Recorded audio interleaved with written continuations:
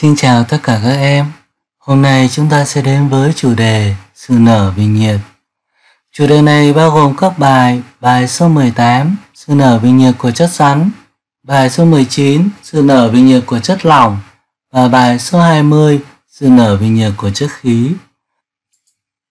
Mục tiêu của bài học này là Thứ nhất, về mặt kiến thức, các em phải nắm được kết luận sự nở vì nhiệt của chất rắn, chất lỏng, chất khí, lấy được ví dụ thực tế về sự nở vì nhiệt của các chất.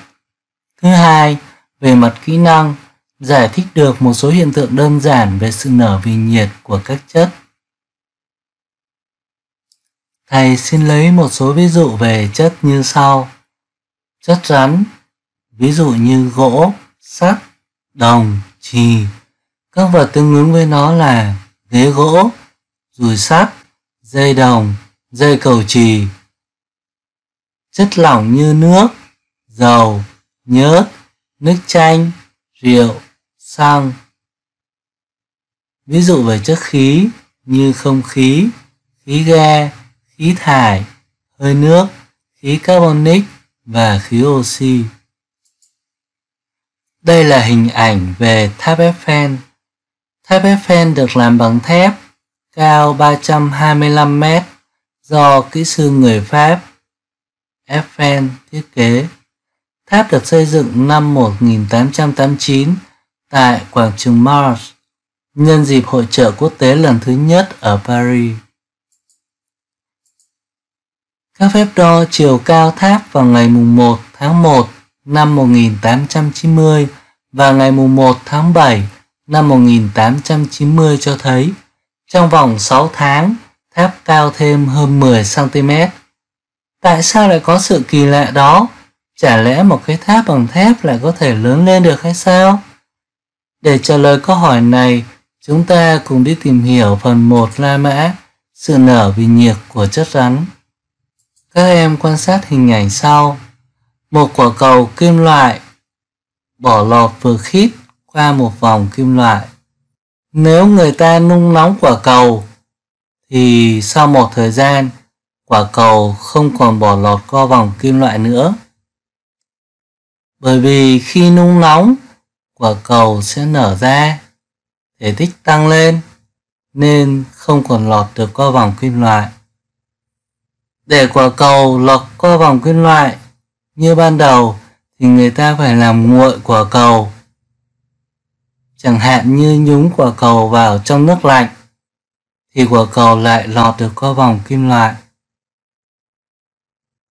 Vì khi nhúng quả cầu vào nước lạnh, quả cầu sẽ lạnh đi, co lại, thể tích quả cầu giảm xuống. Từ nhiều thí nghiệm khác nhau, các nhà khoa học đưa ra kết luận rằng chất rắn nở ra khi nóng lên, co lại khi lạnh đi.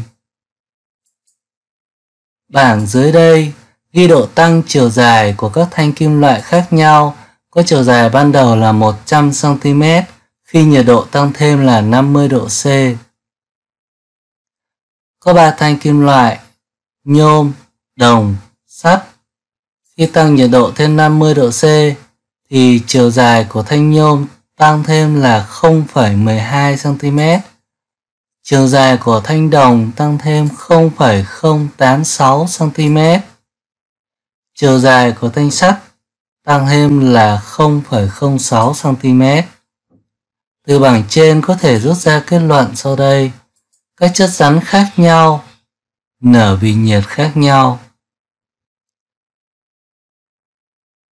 Như vậy, kết luận chung sự nở vì nhiệt của chất rắn như sau. Chất rắn nở ra khi nóng lên, co lại khi lạnh đi. Các chất rắn khác nhau nở vì nhiệt khác nhau. Quay lại với câu hỏi về tháp Eiffel. Tháng 1 là mùa đông giá rét, tháng 7 là mùa hạ. Vì tháp Eiffel được làm từ kim loại, nên khi nhiệt độ ngoài trời tăng lên, tháp sẽ nóng lên, nở ra, làm cho chiều cao của tháp tăng lên. Đáp án hết sức đơn giản đúng không các bạn? Sau đây thầy xin lấy một ví dụ thực tế. Ở trên thực tế, để nối giữa hai ống nước với nhau người ta làm như sau. Nếu như hai ống nước này có cùng kích thước, thì người ta dùng lửa hơn nóng một đầu ống nước. Cho đầu ống đó nóng lên, nở ra, thể tích tăng, kích thước tăng, để dễ dàng khớp hai đầu ống nước lại với nhau. Một ví dụ nữa, ứng dụng sự nở vì nhiệt trong thực tế đó là chế tạo bê tông cốt thép. Bê tông là hỗn hợp xi măng với cát, nước và đá. Sự nở vì nhiệt của bê tông giống hệt như thép, nhờ đó mà các trụ bê tông cốt thép không bị nứt khi nhiệt độ ngoài trời thay đổi. Để khắc sâu kiến thức phần này, các em làm bài tập nhỏ sau đây. Bài số 1 Hãy chọn câu đúng nhất. A. Chất rắn nở ra khi nóng lên, co lại khi lạnh đi. B. Chất rắn nở ra khi lạnh, co lại khi nóng lên. C. Khi nhiệt độ tăng hoặc giảm, thể tích của các vật rắn đều không đổi. D. Khi nhiệt độ tăng, thể tích của vật rắn tăng lên và khối lượng của vật rắn cũng tăng lên.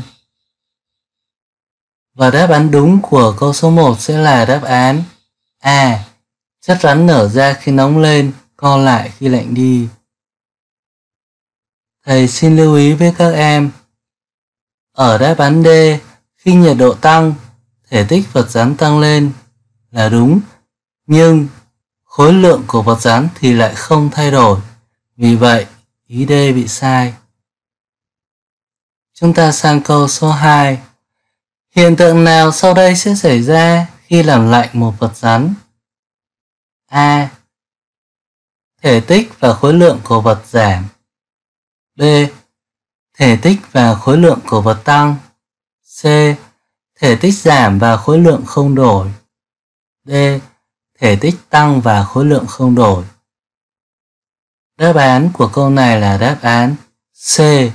Thể tích giảm và khối lượng không đổi. Các em quan sát một hiện tượng trên thực tế như sau. Nếu đổ nước thật đầy ấm thì khi đun nước, ta thấy nước sẽ bị tràn ra ngoài. Các chất rắn nở ra khi nóng lên và co lại khi lạnh đi. Liệu chất lỏng có tuân theo quy luật này không? Chúng ta sẽ cùng tìm hiểu ở phần 2 La Mã, sự nở vì nhiệt của chất lỏng.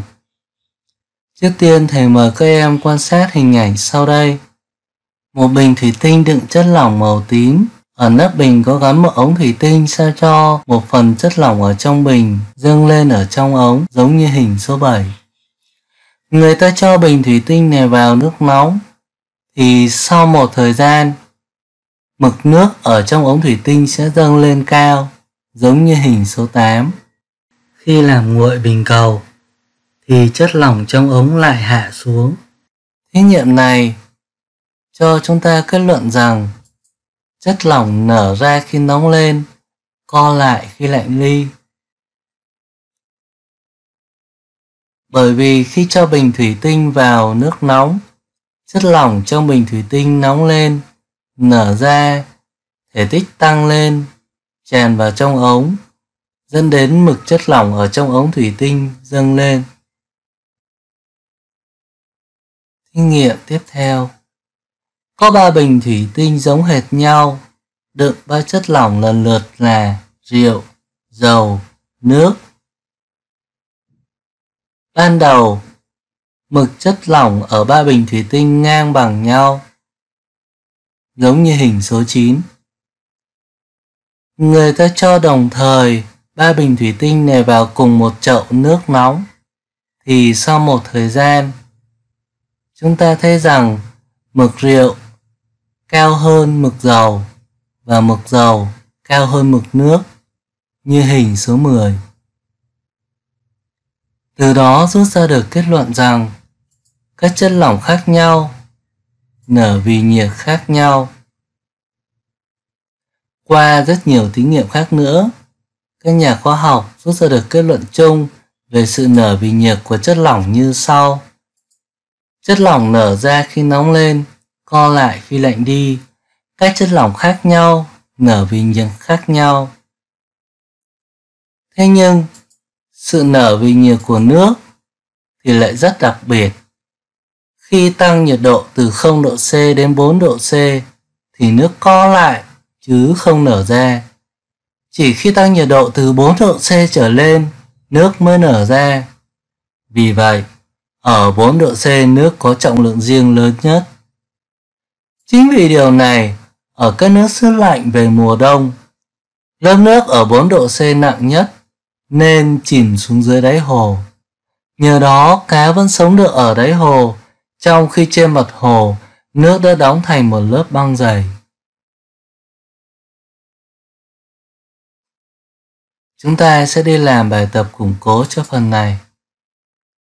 Câu số 3 Hiện tượng nào sau đây xảy ra khi đun nóng một lượng chất lỏng? A. Khối lượng chất lỏng tăng B. Khối lượng chất lỏng giảm C. Thể tích chất lỏng tăng D. Trọng lượng chất lỏng tăng Và đáp án chính xác là đáp án C, thể tích của chất lỏng tăng. Tiếp tục câu số 4. Hiện tượng nào sau đây sẽ xảy ra khi làm lạnh một lượng chất lỏng? A. Khối lượng chất lỏng tăng. B. Trọng lượng chất lỏng tăng. C. Thể tích chất lỏng giảm. D. Cả khối lượng, trọng lượng và thể tích của chất lỏng đều tăng. Đáp án chính xác là đáp án C. Như vậy, các em đã tìm hiểu phần thứ nhất, sự nở vì nhiệt của rất rắn và phần thứ hai, sự nở vì nhiệt của chất lỏng. Sau đây chúng ta sẽ đi sang phần cuối cùng của bài học ngày hôm nay, ba la mã, sự nở vì nhiệt của chất khí. Các em quan sát hình ảnh sau đây. Hình số 12 một bình cầu thủy tinh. Ở nắp bình có gắn một ống thủy tinh. Trong ống thủy tinh có một giọt nước màu đỏ.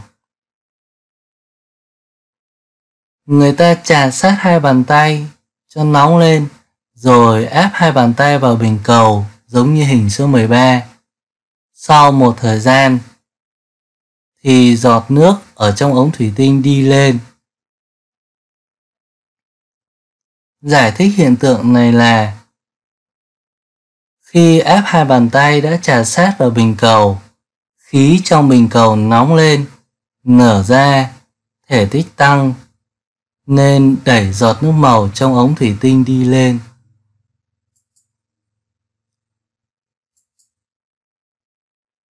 Qua rất nhiều các thí nghiệm khác nhau, các nhà khoa học kết luận được sự nở vì nhiệt của chất khí như sau. Thứ nhất, chất khí nở ra khi nóng lên, co lại khi lạnh đi. Các chất khí khác nhau nở vì nhiệt giống nhau. Chất khí nở vì nhiệt nhiều hơn chất lỏng, chất lỏng nở vì nhiệt nhiều hơn chất rắn.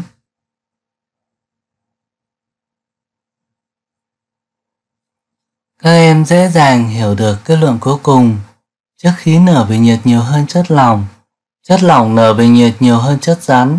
Sau khi quan sát bảng số 20, sách giáo khoa trang 63 ghi độ tăng thể tích của 1.000 cm khối một số chất khi nhiệt độ của nó tăng thêm 50 độ C. Sau đây chúng ta sẽ làm bài tập củng cố kiến thức của phần ba la mã. Câu số 5 Kết luận nào sau đây là đúng? khi nói về sự nở ra vì nhiệt của các chất khí khác nhau? A. Các chất khí khác nhau nở vì nhiệt giống nhau. B. Các chất khí khác nhau nở vì nhiệt khác nhau. C. Các chất khí khác nhau không thay đổi thể tích khi nhiệt độ thay đổi. D. Cả ba kết luận trên đều sai. Và đáp án chính xác của câu này là đáp án A. Các chất khí khác nhau nở vì nhiệt giống nhau. Chúng ta tiếp tục câu số 6. Trong các cách sắp xếp, các chất nở vì nhiệt từ nhiều tới ít sau đây, cách sắp xếp nào là đúng? A. Rắn, lỏng, khí. B.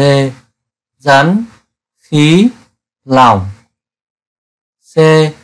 Khí, lỏng, rắn. D. Khí, rắn, lỏng. Đáp án chính xác là đáp án C. Vì chất khí nở vì nhiệt nhiều hơn chất lỏng. Chất lỏng nở vì nhiệt nhiều hơn chất rắn. Câu số 7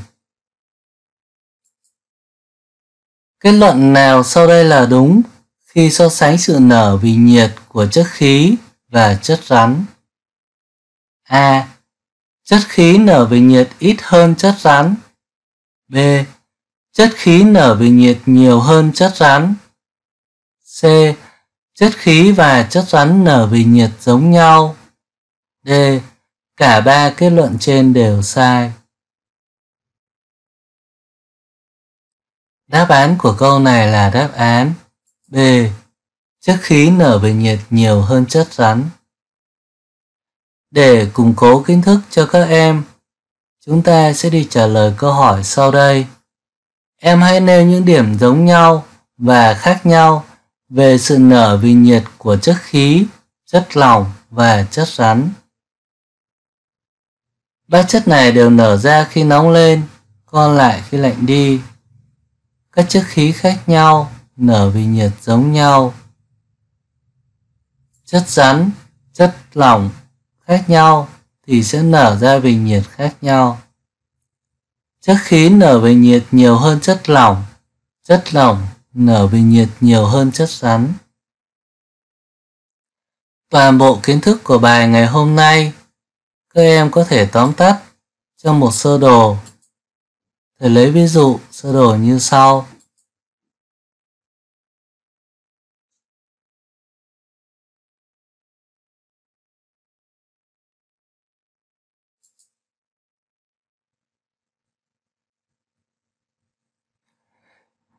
Như vậy, bài học ngày hôm nay đã kết thúc.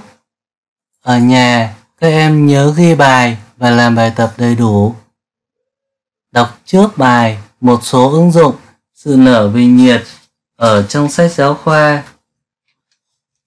Trang số 65